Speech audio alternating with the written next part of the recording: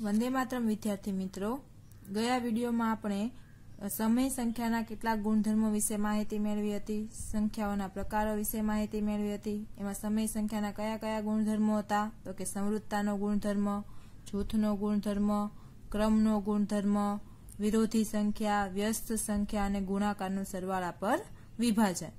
આ જ બધા ગુણધર્મોનો ઉપયોગ આપણે કરવાનો છે. આજે આપણે સ્વાધ્યાય એક પોઈન્ટ એક, પ્રશ્ન એક એમાં આપેલું છે, યોગ્ય ગુણધર્મનો ઉપયોગ કરી કિંમત શોધો. આજે આપણે બધા ગુણધર્મો શીખી ગયા છીએ. એ જ ગુણધર્મનો ઉપયોગ કરીને અહીંયા આપણે કિંમત મેળવવાની છે. બરાબર છે? તો આપણો પહેલો દાખલો છે, માઇનસ બેના છેદમાં ત્રણ ગુણ્યા ત્રણના છેદમાં પાંચ પ્લસ પાંચના છેદમાં બે માઇનસ ત્રણના છેદમાં પાંચ ગુણ્યા એકના છેદમાં છ. બરાબર છે? અહીંયા આપણે બધા જ ગુણધર્મોનો ઉપયોગ કરીને આપણા દાખલાની કિંમત શોધીશું. ચાલો, પહેલા કયો ગુણધર્મ વાપરીશું? તો કે પહેલા આપણે જોઈએ કે જે બે સંખ્યાઓની વચ્ચે ગુણાકારની નિશાની આપેલી છે, એનું આપણે જૂથ બનાવશું. જો તો, કઈ બે સંખ્યા વચ્ચે ગુણાકારની નિશાની આપેલી છે? તો કે માઇનસ બેના છેદમાં ત્રણ ગુણ્યા ત્રણના છેદમાં પાંચ. એ બંને વચ્ચે ગુણાકાર આપેલો છે. પછી અહીંયા એક ગુણાકાર છે. માઇનસ ત્રણના છેદમાં પાંચ ગુણ્યા એકના છેદમાં છ. બરાબર છે? ચાલો આનું જૂથ બનાવ્યું. એટલે આ બેનું જૂથ અને એક આનું જૂથ. કયો નિયમ વાપરો? જૂથનો ગુણધર્મ. કયો ગુણધર્મ છે? જૂથનો ગુણધર્મ. ચાલો, હવે શું કરીશું? તો કે પેલા આપણે જૂથ બનાવ્યું. હવે આ જે જૂથ છે, એને આ જૂથની નજીક લાવવું છે.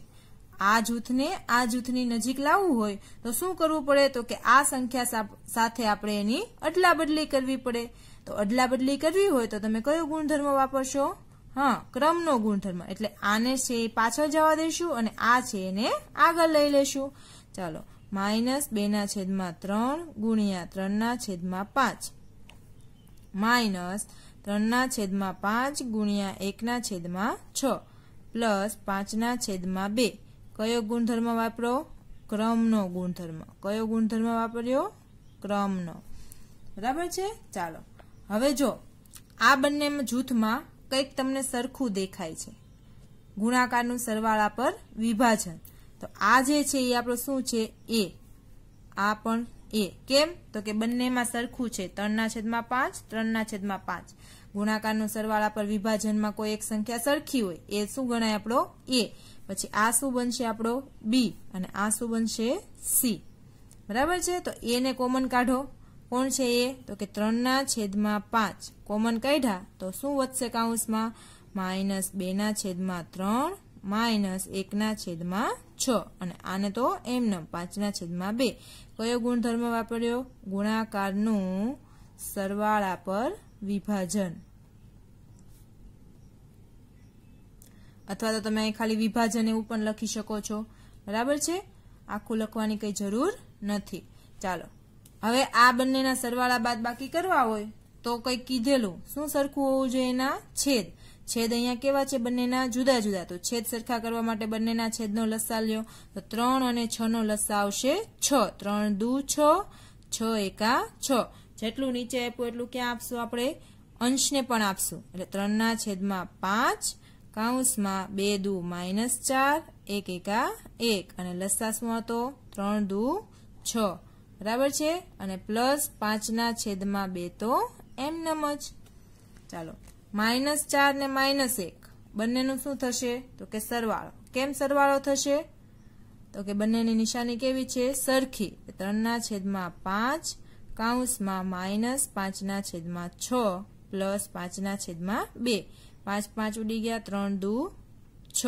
તો અહીંયા શું વધ્યું? માઇનસ એકના છેદમાં બે પ્લસ પાંચના છેદમાં બે. બંનેના છેદ સરખા છે એટલે અંશની ડાયરેક્ટ સરવાળા બાદ બાકી થઈ શકે. તો માઇનસ એક પ્લસ પાંચ છેદમાં બે. માઇનસ એક અને પ્લસ પાંચ. બંનેની નિશાની જુદી જુદી. એટલે બાદ બાકી કરવાની મોટાની નિશાની. એટલે પાંચમાંથી એક જાય તો ચાર, મોટાની નિશાની પ્લસ છેદમાં બે. બે દુ ચાર. એટલે જવાબ મળ્યો તમને બે. સમજ પડી? ચાલો, બીજો દાખલો. બેના છેદમાં પાંચ ગુણ્યા માઇનસ ત્રણના છેદમાં સાત, માઇનસ એકના છેદમાં છ, ગુણ્યા ત્રણના છેદમાં બે, પ્લસ એકના છેદમાં ચૌદ, ગુણ્યા બેના છેદમાં પાંચ. ચાલો, પહેલા કયું જૂથ બનાવશું? કોનું કોનું જૂથ બનાવશું? જેમની વચ્ચે ગુણાકાર હશે, એનું જૂથ બનાવશું તો કે આ બંને વચ્ચે ગુણાકાર, એટલે આ પહેલું જૂથ, આ બંને વચ્ચે ગુણાકાર, એટલે બીજું જૂથ, આ બંને વચ્ચે ગુણાકાર, એટલે ત્રીજું જૂથ. હવે ત્રણેય જૂથમાં જુઓ તો કયા બે જૂથમાં કંઈક સરખું દેખાય છે? પહેલા તમે કયો ગુણધર્મ વાપર્યો? તો કે જૂથનો ગુણધર્મ. બરાબર છે? હવે બંનેમાં સરખું હોય એવું કયું જૂથ છે? બે જૂથમાં કંઈક સરખું હોય એવું. તો કે પહેલા અને ત્રીજા જૂથમાં. શું સરખું છે? બેના છેદમાં પાંચ, બેના છેદમાં પાંચ. તો બેના છેદમાં પાંચ જે છે એ આ બંને આ બંને જૂથને પાસ પાસે લાવવા હોય તો શું કરવું પડે? આની સાથે આના ક્રમની અદલા બદલી કરવી પડે. ચાલો એનો ક્રમ અદલ બદલ કરીએ. તો બેના છેદમાં પાંચ ગુણ્યા માઇનસ ત્રણના છેદમાં સાત. આ પેલું જૂથ. આને હવે આગળ લઉં છું. બીજ ત્રીજા જૂથને. એકના છેદમાં ચૌદ ગુણ્યા બેના છેદમાં પાંચ. અને આ ત્રીજું જૂથ માઇનસ એકના છેદમાં છ ગુણ્યા ત્રણના છેદમાં બે. કયો ગુણધર્મ વાપરો? ક્રમનો. કયો ગુણધર્મ વાપરો? ક્રમનો ગુણધર્મ. બરાબર છે? ચાલો. ક્રમ અદલા બદલી કર્યા ને આપણે? હવે આ બંનેમાં સરખું શું? તો કે બેના છેદમાં પાંચ. એને આપણે કોમન કાઢ્યા તો અહીંયા શું વધ્યું? માઇનસ ત્રણના છેદમાં સાત પ્લસ એકના છેદમાં ચૌદ. અને અહીંયા છેદ ઉડે એટલા ઉડાડ દે ત્રણ દુ છ. તો માઇનસ એક એકા એક ને બે દુ ચાર. ચાલો. હવે વિભાજનનો ગુણધર્મનો ઉપયોગ કરીશું. બરાબર છે? છેદ સરખા કરીએ. કયો ગુણધર્મ? વિભાજનનો.